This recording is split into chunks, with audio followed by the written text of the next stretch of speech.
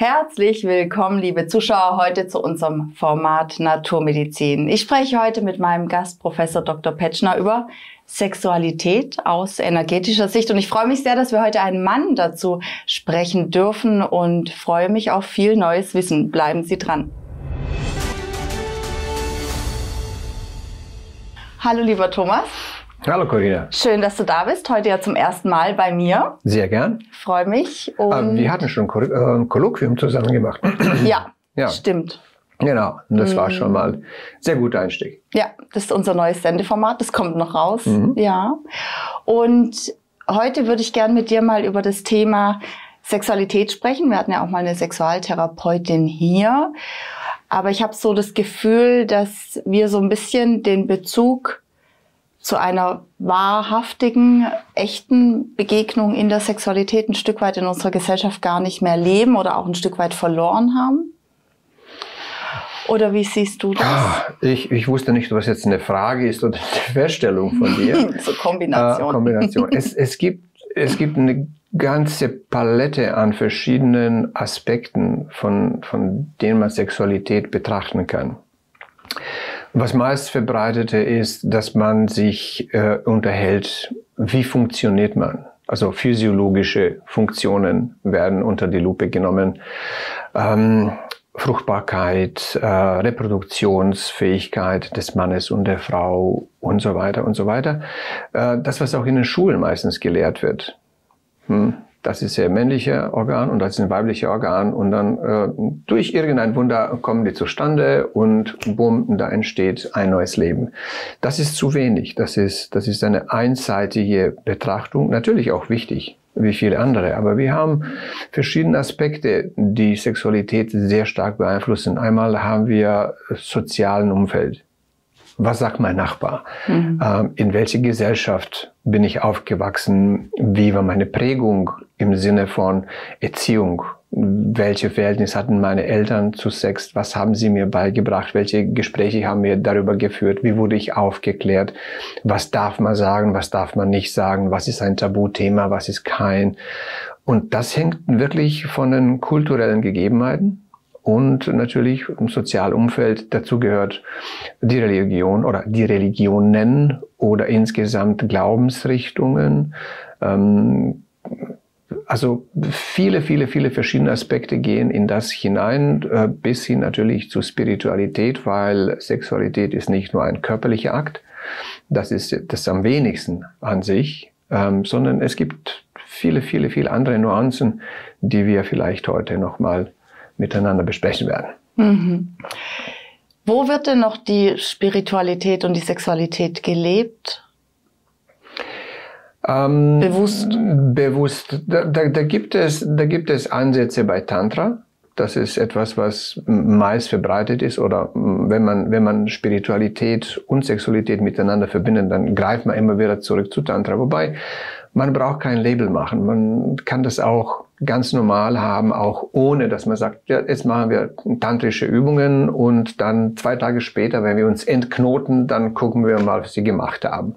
Da geht es ja nicht nur um die Stellungen, Positionen, sondern geht es auch darum, welchen Zugang wir zum Sexualität haben und was ist das für uns? Ähm, ist das jetzt mal nur eine, eine physische Abhandlung, dass man sagt, gut, okay, wir balancieren mal die Hormone, oder ist das etwas, wo man tatsächlich ein kleines bisschen spiritueller damit umgeht, im Sinne von, wer wir sind, was wollen wir eigentlich? Was, was bekomme ich aus, aus der Sexualität? Wie erlebe ich die Sexualität? Wie erlebe ich mich selbst? Wie erlebe ich den Partner? Wie kommt es zum energetischen Austausch miteinander? Ähm, was ist die Umgebung? Wo wir einen Sex haben. Es ist unterschiedlich, wenn man äh, einen Quickie im Auto hat oder wenn man einen Raum hat, das wirklich dafür mehr oder weniger vorgesehen ist. Ich spreche nicht über Schlafzimmer solches, weil da geht man zum Schlafen. Es gibt wirklich in manchen Kulturen Räume, wo man sich begegnet auf diese äh, körperliche, sinnliche Ebene, wo dann die Düfte eine Rolle spielen. Beleuchtung spielt eine Rolle, Materialien spielen eine Rolle, Bett, auf dem man sich hinlegt, äh, spielt auch eine Rolle. Äh, es macht ganz, ganz großen Unterschied, welche, welche Bettwäsche man hat. Ob das jetzt feine ist, dass Haut als ein, ein äh, sensible Organ auch mit dem finden kann, auch die Berührung, die jetzt dazu kommt. Und diese spirituelle äh, ist äh, letztendlich aus vielen, vielen Komponenten zusammengebaut. Ist das erstmal was mache ich mit meinem Partner? Wie gehe ich mit der, mit der ganzen Situation um? Ähm, wie weit sind wir beide geistig entwickelt? Wie weit können wir uns genießen, ohne dass wir jetzt mal diesen direkten körperlichen Kontakt haben? Einander anschauen, einander riechen, einander leicht berühren, die Haut berühren, ähm, einfach die Hand halten, nebeneinander liegen, ähm, Herzschlag hören, ähm, einfach Atem des Partners hören. Das sind alles Elemente, die sind nicht ähm, im Sinne von ähm, heutigen, leider Gottes, äh, schnelllebigen äh, Elementen der Sexualität, wo es heißt, jetzt schnell mal und schnell zum Orgasmus. Da wird Orgasmus als Ziel deklariert, mhm. was völlig falsch ist. Also man soll gar nicht sagen, jetzt zum Orgasmus. Äh, ich habe in einer Sendung gesagt, kein Orgasmus, sondern Orgas möchte. Also kein Muss, kein Druck. Ähm, es ist nicht ein, ein erklärtes Ziel das man erreichen soll. Und wenn schon, dann sollte man Möglichkeiten finden oder sollte man erstmal Zeit finden, um das zu erreichen. Und das ist, diese Entschleunigung ist notwendig. Man muss wirklich entschleunigen. Für Sexualität, für eine gut gelebte Sexualität spielt Zeit eine wesentliche Rolle. Ein, ein, ein Vorspiel ist unheimlich wichtig ähm, schon Wort Spiel an sich. Es ist etwas Spielerisches. Es ist etwas, wo man sich wie, wie ein, ein Kind unbefangen fühlt und bewegt und entdeckt und neue Sachen ähm, ausprobiert. Und das ist etwas, was ganz, ganz, ganz wichtig ist, auch wenn man physiologische Elemente Mann und Frau äh, gegenseitig betrachtet. Bei einem Mann ist das, ja, Erektion ist da, ich bin ready und los geht's. Ähm, ich habe bei verschiedenen Vorträgen auch erlebt, wo man mit äh, wirklich Teilnehmerinnen, ich habe auch so Exklusivvorträge für, nur für Frauengruppe gehalten, äh, festgestellt, es gibt Frauen in deren 50ern, die hatten noch nie ähm, ein Gefühl, Sexualität mit etwas zu verbinden, was schön ist. Hm. Und es lag in erster Linie, als, als wir dann äh, in Diskussionen gekommen sind und äh, einen, einen kommunikativen Austausch, wo sie dann sagen, Tja, also mein Mann ist einfach bereit und er wartet nicht, dass ich überhaupt mal feucht bin, sondern er drängt in mich hinein, es ist schmerzlich und ich verbinde Sexualität nur mit Schmerz. Also ähm, auch ein Kommentar war für mich sehr prägend, wo eine Frau gesagt hat, ich weiß nicht, was finden die Frauen schön daran? Was finden die Menschen überhaupt schön an der Sexualität? Es tut nur weh. Sie hat nämlich gar keine andere Erfahrung gehabt. Mhm. Sie hat einen Mann kennengelernt mit 15, mit 17 waren sie verlobt, mit 19 haben sie geheiratet und haben Leben lang miteinander verbracht, ohne dass sie anderen Partner hatten und auch durch die Umgebung. Und das ist das, was ich auch vorher sage, Sozialstruktur, Religion spielte eine wesentliche Rolle in dem Fall. Es gab keinen Austausch zwischen Freundinnen. Es gab keinen Austausch zwischen, zwischen, sage ich jetzt mal, engeren Familienkreis. Darüber spricht man nicht. Du hast einen Mann, Pech gehabt oder Glück gehabt. Also insofern, ähm, viele, viele Elemente sind ja auch mit dabei, die, die ineinander fließen, die sich ergänzen, die einfach gesehen werden müssen. Wenn man jetzt wirklich diese energetischen Aspekte mit reinnimmt, vor allen Dingen auch dieses kein Orgasmus haben zu müssen? Was passiert im Körper in dem Moment, wo ich sage, ich muss nicht kommen? Ähm, das ist eine sehr, sehr gute Frage und die Antwort ist, man muss gar nichts müssen. Ähm, der Druck ist raus. Mhm. Der Druck ist raus. Also einfach ähm, miteinander ähm, körperlich kommunizieren, sich streichen, miteinander Zeit verbringen, nebeneinander liegen, äh, sich berühren, sich fühlen ohne zu sagen, jetzt müssen wir irgendein Ziel erreichen, ein Orgasmus haben. Nein, überhaupt nicht. Ziel, also Orgasmus als Ziel nicht suchen, sondern zu dem kommen, wenn man das wirklich möchte, wenn man, wenn man tatsächlich so irgendwo im Hinterkopf hat, aus dem, was gelernt ist in der Vergangenheit, okay, Orgasmus ist ein Höhepunkt und zu dem will ich, will ich jetzt mal kommen, ist immer die Frage, was ist dann danach? Mhm. Man rennt zum Orgasmus, es, man, man sagt immer, es ist ein Vorspiel. Was ist mit dem Nachspiel? Ähm, also wir kommen jetzt zu deiner Frage direkt zum Energieaustausch. Wir sagen in der komplementären Medizin, Yin und Yang wird immer genommen als eine sage ich jetzt mal, universelle globale Sprache der energetischen Feldern oder Energien an sich. Und, und die Frau ist demnach Yin, das heißt zart, empfangend, eher passiv. Ähm, und der Mann ist aktiv, aggressiv in manchen Fällen auf jeden Fall ähm, derjenige, der Initiative ergreift, der immer pusht, sozusagen im wahrsten Sinne des Wortes dann. Und äh, bei einem energetischen Austausch, das dann idealerweise beim Orgasmus stattfindet, kommt es auch zum energetischen Austausch. Die Frau bekommt Yang des Mannes mhm. und der Mann bekommt Yin der Frau. Und durch diese Balancierung, also die ganze Meridianfelder öffnen sich, die ganze Chakren öffnen sich, die arbeiten anders. Kommt es da, zu, zu dem Moment, wo, wo die Frau diese, diese Yang bekommt, wird sie energetisiert, ist sie aktiviert, es wird aktiver danach und der Mann kriegt ihn, will nur noch schlafen. Und nach dem Sex sagt, oh Schatz, ja. lass, mich, lass mich einfach nur in Ruhe, ich möchte mal ein Kirche machen. da ist Leider. irgendwas schief ja, genau. Das bei ist der, gegangen. Das ist zu viel Energie wurde ausgetauscht. Aber das ist genau das, was ich sage. Wo ist der Nachspiel? So, also man, man spricht über diese, äh, sage ich jetzt mal, spirituelle Zugang zu Sexualität. Und dazu gehört ja nicht nur, okay, ich arbeite auf Ziel hinaus und das ist der Orgasmus und danach ist Feierabend, sondern es ist wirklich auch etwas, wo man sagen kann, man kommt zum Höhepunkt. Aber von der Definition her, du kannst keinen Höhenpunkt oder einen Gipfel äh, auch eines Berges oder was auch immer äh, definieren und sagen, das ist ein Gipfel, äh, weil du hast ja vorher ein Tal, von dem hast du angefangen. Jetzt bist du auf dem Gipfel und was bleibt dann? Bleibst du auf der Gipfel? Nein.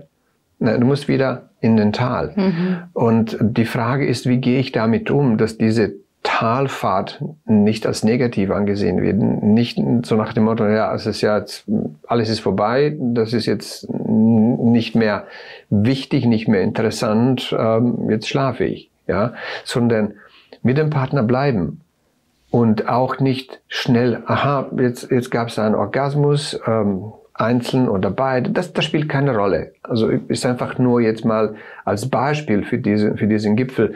Ja, danach jetzt mal, ach schön, guck mal, ich bin ja ganz äh, verschmiert, besudelt, ähm, deine Säfte fließen, meine auch, äh, lass uns mal schnell duschen.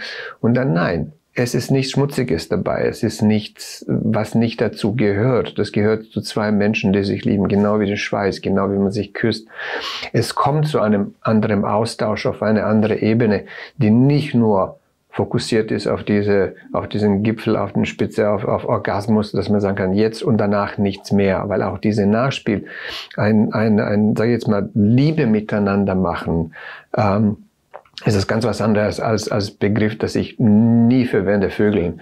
Ja, das, das hat für mich eine völlig andere Definition. Es ist, mhm. es ist etwas, etwas, was mechanisch ist. Es ist etwas, wo man sagen kann, okay, ich befriedige jetzt mal ähm, meine schnelle Bedürfnisse, ob man selbst masturbiert oder ob man jetzt mal mit jemandem das, das miteinander macht.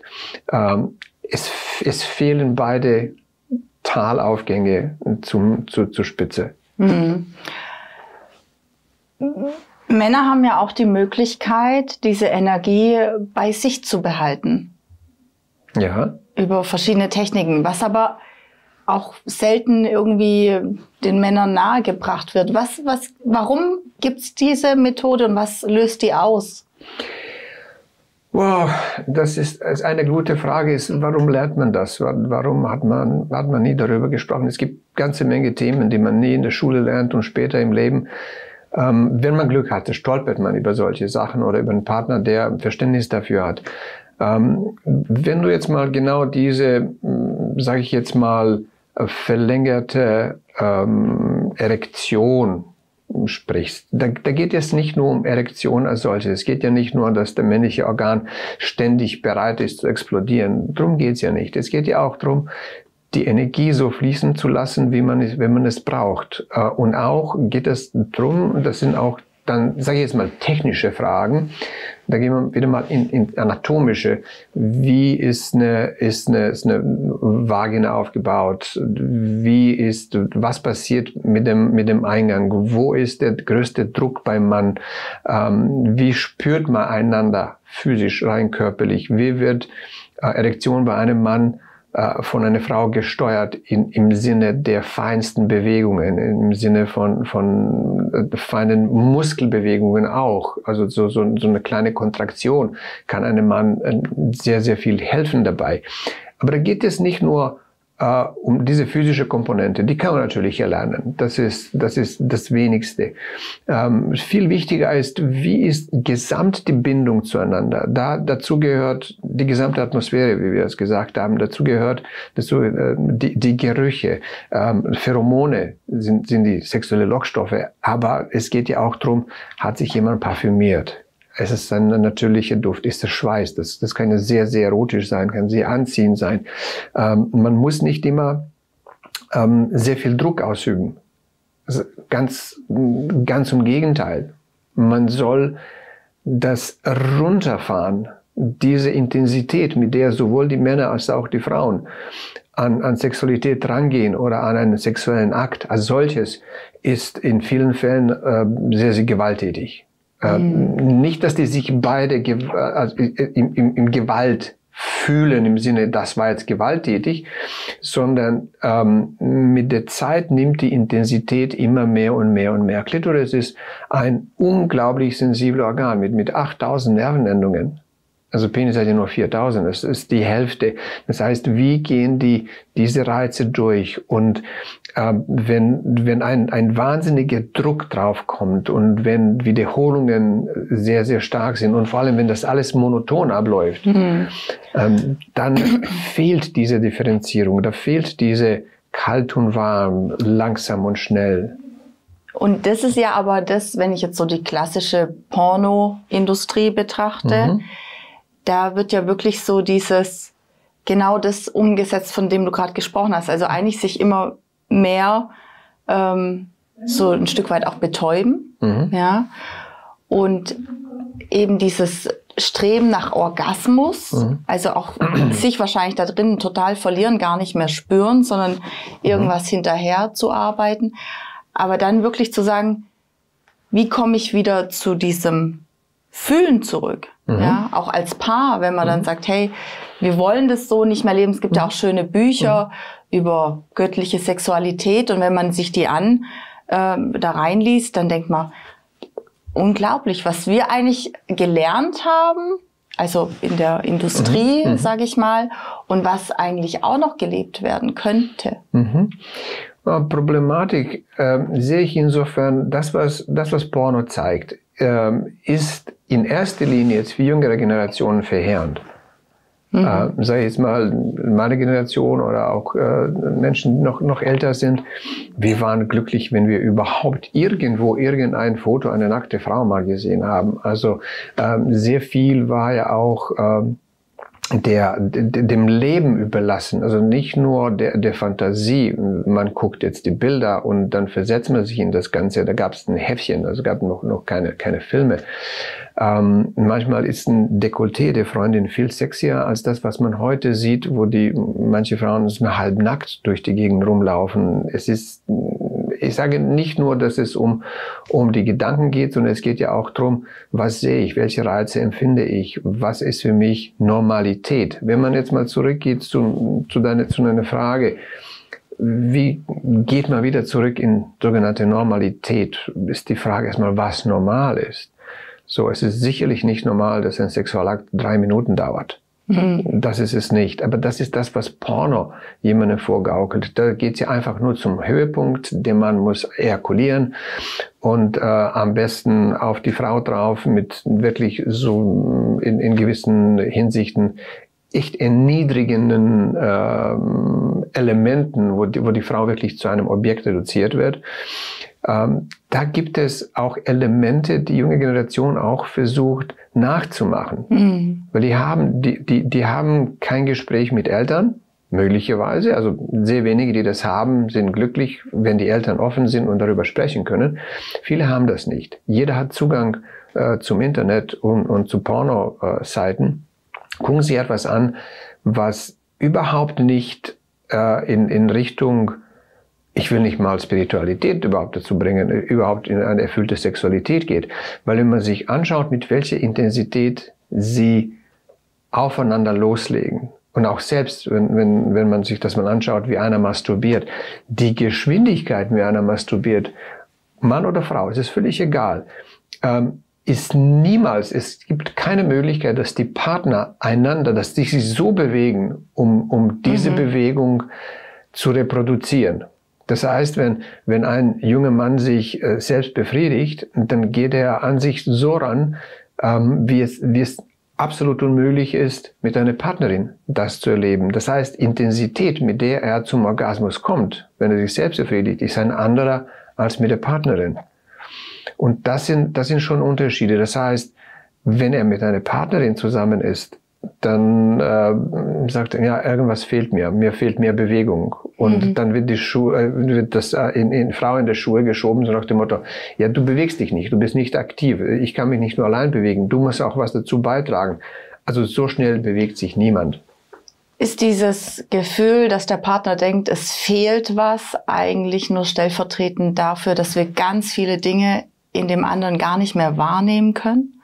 Weil wir den Blick dafür gar nicht mehr haben. In dem Moment, wo ich mich ja nur auf Reibung und Stoßen konzentriere. Mhm. Und das finde ich jetzt mal spannend, wenn du als Mann da bist. Was kann man an der Frau alles wahrnehmen, außer das, was uns die Pornoindustrie nur vorgaukelt, nur dieses Objekt? Ich glaube, viele Männer haben auch den Zugang verloren. Was, was, wie fühlt sich weibliche Energie an? Mhm. Diese Dinge. Ja, also ähm, wenn ich darüber rede, dann heißt es, na, guck mal, der alte Romantiker. Aber es ist wirklich, es ist wirklich so, ähm, dass eine Frau als eine Ganzheit betrachtet werden muss, soll, oder wenn man wirklich diese weibliche Energie, wie du sagst, äh, genießen möchte, muss man sie erstmal äh, respektieren, erkennen und ähm, zelebrieren. Dass man sagen kann, visuell, auch gefühlsmäßig, auch energetisch ist das eine schöne Frau. Es ist etwas, was jemanden umgibt. Das ist etwas, wo man sagen kann, ähm, viele Elemente fließen ineinander. Es ist nicht nur das Körperliche. Es ist nicht nur, dass wir sagen, na wow, sie hatten, was weiß ich, äh, runden Hintern oder große Brüste oder was auch immer äh, Element sein mag, dass man sich darauf fixiert, sondern wie spricht sie? Wie bewegt sie sich? Was sagt sie denn? Ähm, wie ist ihre Energie und wie ist ihre Weiblichkeit an sich? Ähm, wenn du dir jetzt mal anschaust, also versuch das mit Männernaugen zu sehen, ähm, Frauen auf der Straße. Mhm. So. Ähm, wenn ich mir jetzt mal so ganz, ganz ohne irgendwelche Hintergedanke einfach die Landschaft anschaue, da sind in etwa 50 Prozent der Frauen, die bewegen sich eher unsexy, unweiblich, sondern eher so, hier bin ich, hier komme ich. Ja? du sprichst über Weiblichkeit. Mhm. Es ist nichts Weibliches und das ist nicht etwas, was du dann katalogisierst oder was du bewusst dann wahrnimmst und sagst, okay, die bewegt sich so und so. Also bei mir geht es einigermaßen, weil ich befasse mich mit Körpersprache, mit Gesichtsdiagnostik, mit verschiedenen anderen Elementen, die das mit beinhalten. manchmal ist bei mir das automatisch. Aber äh, diese, diese unbewussten Elemente, das ist das, was, was uns triggert. Das ist das, was man sagen kann, wow, guck mal den schönen weiblichen Gang. Also ähm, einer eine der Beispiele, Marilyn Monroe in, in Manche mögen's heiß. Mhm. So, das ist eine Szene, wenn sie am, am Bahnhof vorbeigeht an ähm, Tony Curtis und Jack Lemmon und sie geht und die ganze Hüftbewegung, die da ist auf den Stöckelschuhen, die stehen dahinter und die haben sich als Frauen verkleidet und versuchen selbst in den Stöckelschuhen zu gehen. Und das zeigt wirklich natürlich überzeichnet diese weibliche Gang, aber das ist etwas, was dann tatsächlich auch ähm, im tieferen Unterbewusstsein auch generationsmäßig zurück ist. Das ist ein einladender Akt. Mhm. Ich bin eine Frau, ich bewege mich. Es ist, es ist ein, ein visueller Lockmittel. Ich zeige dir meine Weiblichkeit. Ich bewege mich wie eine Frau. Und wenn sich eine Frau weiblich nicht fühlt, wie soll sie das rausbringen? Das heißt, die Weiblichkeit kann man ja auch erkennen. Nicht nur anhand des Gangs oder auch, auch da, wie man sich anzieht, auch da, wie man sich gibt, auch wie man, wie man insgesamt also über sich selbst denkt und über, über wie man sich selbst empfindet. Man, man kann diese Weiblichkeit auch zum Ausdruck bringen und dies für Männer sichtbar. Und in der Sexualität, wie kann ein Mann diese weibliche Energie, wo fühlt er die, wo, was passiert da? Wow, also wenn, wenn man ein, ein Glück, äh, wenn man Glück hat, ja, dann spürt man das. Also auch bei, im, in dem energetischen Austausch, wenn man miteinander verbunden ist. Das ist nicht nur etwas, was du körperlich spürst. Du spürst die ganze Energie, du spürst mhm. diese Verbundenheit, du spürst diese, ähm, man sagt das immer, ineinander verschmelzen. Man muss aber nicht so weit gehen. Man muss nicht im, im, im Sinne des, ich bin jetzt verliebt und alles ist rosa-rot, sondern auch immer wieder aufs Neue entdecken, diese, diese weibliche Yin, wenn man sich, wenn man sich mehr damit auseinandersetzt, spürt man weibliche Energie, die, die immer wieder aufsteigt. Aber dafür muss man der Frau Zeit geben.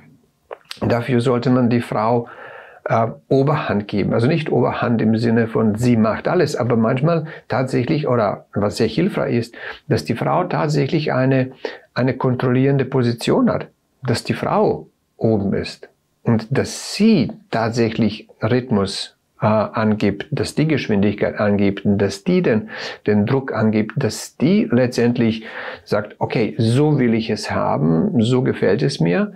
Und diese Energiesteigung, was in ihr passiert, das ist dieser Weg vom Tal bis zum Gipfel, mhm. also vor dem, vor dem Orgasmus, wenn man ihn so definieren möchte.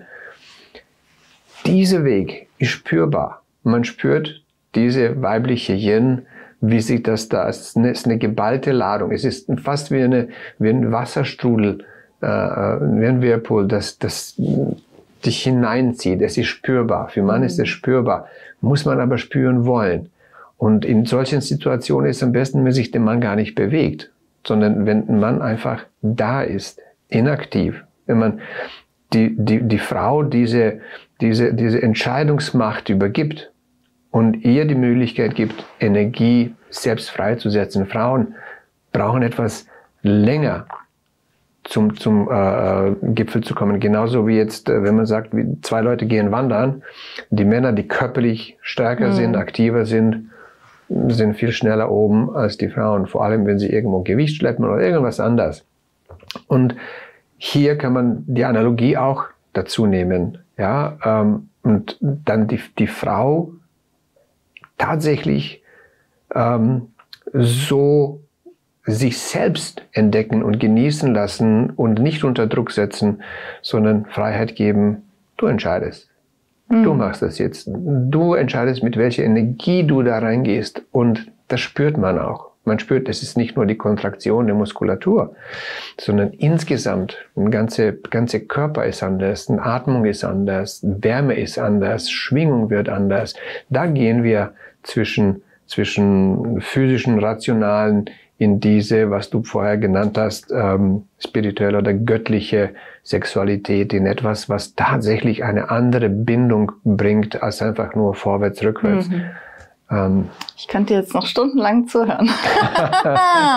Sehr schön beschrieben ähm, und Vielleicht können wir doch noch eine Sendung machen, auch über dieses, über diesen Übergang jetzt in die Spiritualität. Wenn noch Fragen offen sind. Das wäre wirklich schön. Sehr gern. Vielen Dank, Thomas. Danke für, für die Einladung. Inspirierende Interview und bis hoffentlich bald. Liebe Zuschauer, ich hoffe, Sie konnten auch einiges für sich mitnehmen an Inspiration. Ich freue mich natürlich immer wieder, wenn Sie zuschauen. Ich wünsche Ihnen eine wundervolle Zeit. Bis bald und tschüss.